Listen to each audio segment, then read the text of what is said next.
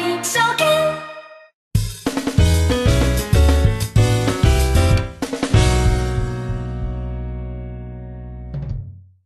はい、えー、こんにちは。12月の6日木曜日の株と為替の売買シナリオでございます。現時刻3時54分15秒という時間帯でございます。えー、さてちょっと後ほどご案内させていただこうかと思いますが、どういったことがあったのか、実はリキアの FX 道場、ブログのところでちょっと猛省ということでお詫びしたんでございますけども、本日の午前9時、えー、日本テレビさん、日テレニュース24、マーケットニュース、えー、9時の寄り付きに合わせてでございますけども、東京証券取引所からちょっとコメントさせてていただきました日経平均株価、えー、そしてまあドル円に関して、ないしは、えー、逆イールドに関してちょっと触れさせていただきました。まあ、こちらの方は日本テレビさんのホームページご覧になっていただければというところなんですが、さてで、ここと見解がちょっと、実は、特に日経平均の方でございます。大きく崩れてしまった私の見立てと違ったのが、本日のこちらでございます。日経平均株価、自利安展開になったというところでございます。今更のところかと思いますが、えー、まあ、いわゆるファーウェイショックというところでございます。えー、中国通信機器大手、えー、でございますね。こちらのところの幹部、え、逮捕されてしまったというところでございます。まあ、これを受けてなんですが、関連株、今大きく売られてしまった経緯がございます。半導体だとか、そうしたところもそうなんですが、さて、ね、ドル円レートにおいてもですね、ちょっとまあ、そ、そこのショックというんでしょうかね。やはりちょっと、えー、米中摩擦での日経平均株価の下押し、その辺をやはりちょっと意識して、そしてストップハンティング的な動きでというところで、現時点においてでございますけども、112円の84銭水準というところまでドル安円高になってしまった。まあ、ちょっと今また、えー、113円意識するのかな、下値方さからもう一回反転するのかなというような試合での今、えー、アーリーロンドン、ロンドン市場の、まあ、本格的な動きを、まあ、待ってるというところだと思いますが、えーえー、まあ、やはり主役になるのが本邦株式市場でございます。日経平均株価の方が終値、えー、21,501円というところです。えー、で、えー、ニューヨークダウなんですけどもね、東京金融取引所クリック株365、まずは日経225の方が今21,620円と、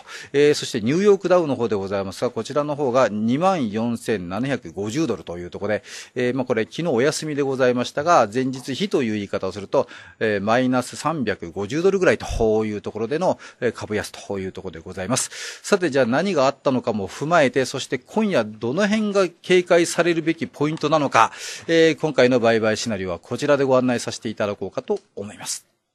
ドル円からでございます。まあ、あの、ドル円の売買シナリオの方から先に申し上げるならば、今回は様子見というスタンスでございます。112円の60銭から90銭。そうは言ってもタイトだねというところかと思いますが、やはり需給での支援というものが、どの程度まで、えー、まあ、ドル円レートに影響を及ぼすかというところなんですが、実は今日はですね、昨日がお休みだった分だけ、ニューヨークお休みだった分だけ、材料がいっぱいございますので、ちょっとかなり見づらいかもしれませんが、一つずつ、えー、ゆっくり申し上げたいと思います。で、そもそもでございますけども、改めてでございます。ファーウェイ、朝の8時、今10分、15分ぐらいでしょうかね、第一報が入ってきたのが、えー、で、ちょっと言い訳になりますが、その時間帯にちょうど私はこの日本テレビさんの番組出演のために移動していたというところで、えー、その報道をですね、えー、ちょっとチェックしきれなかったというところでございました。乗っている地下鉄、浅草線もちょっと今日は事故があったというところだったんですけども、まあ、いずれにしてもファーウェイ。で、このところでの見解いろいろ出ております。えー、まあ、観測法っていうんでしょうかね、続報という形なんですけども、いずれにしても、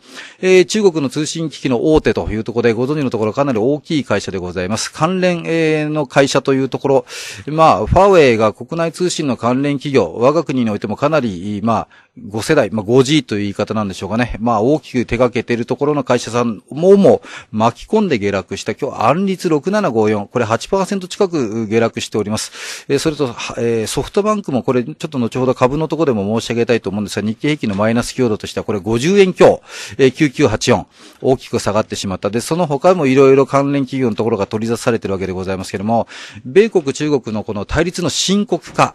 ひょっとしたらこの間の12月の1日の米中首脳会談の時にも、こうしたことがあるよ、などというようなことがトランプ大統領から、えー、まあひょっとしたら謎解きのごとく言われていたのかと。えー、以前シリアにアタックした時にも、確か米中でお食事をしている最中に攻撃するというような、ちょっとびっくりするような劇的なあの会談の最中にするということがございましたので、まあ駆け引きの中にも入ってしまったのかぐらいのところではかなりこれ深刻化するんじゃないかというような問題。えー、そうしたところでの、まあ、えー、全般的にでございますけども、米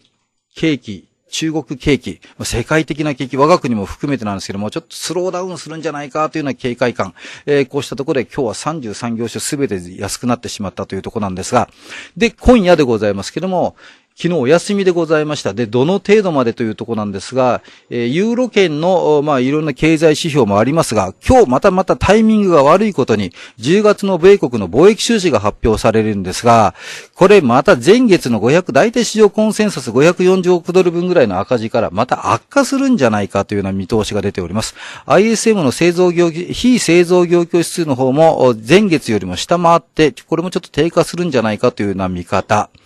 ちょっとこの辺のところのセンチメントがですね、この今般のファーウェイの話、どの程度まで、えー、米国株式市場が、えー、まあ反応するのか、それに合わせてリスクオフの動きになってくるんじゃないかと。で、えー、さらには、まあ、ユーロ。まあ、ユーロのとこでは、まあ、これはユーロドルになってくるので、ドル買いになってくればというところなんですが、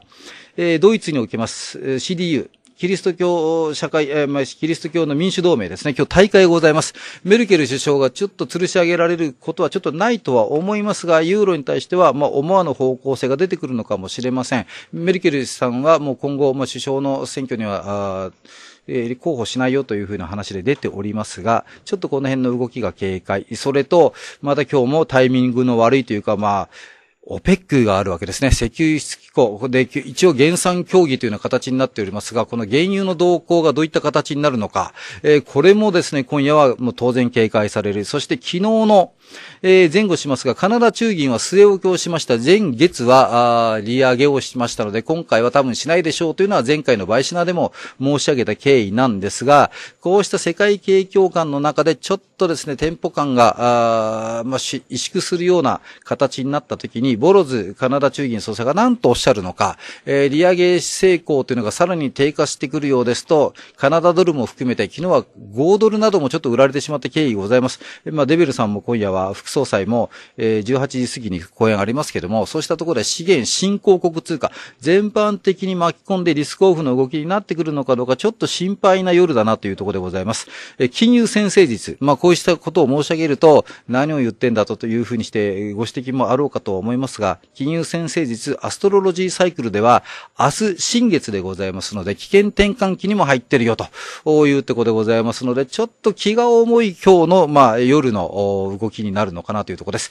えー、そうしたところでちょっと前後しますが、様子見というところであくまでもリスク管理、えー、まあ、売るにしても買うにしても、このチャートのところでご案内させていただいておりますので、ポイントだけちょっと押さえていただければというふうにして思いますいますが、一番やはり注目しておりますのは、日足の一目均衡表の雲の上下限でしょうかね。で、ここにおいての、まあ、買った場合のポイント。で、売りのところなんですが、日足のボリンジャーの中心線ないしは日足の基準線転換線。要は110歳の前半を超えていくようだったら、売った場合でも一旦はちょっと万歳というところ、ちょっとこの辺のところだけを一応押さえてですね、お取り組みいただければというふうにして思います。えー、繰り返しになりますが、ちょっとリスクオフというとか、ドル円単体、まあ、ドル円単体においては、もう明々白々なのかなと思うんですが、需給がかなり期末超えな、の、年度超えのところも含めて、ドル買い手当の需給というのが指摘されてはいるんですが、えー、こうした状況の中ではどこまで堅調性を信じていいのかわかりませんので、繰り返しになりますが、ドル円様子見というところでご案内させていただきたいと思います。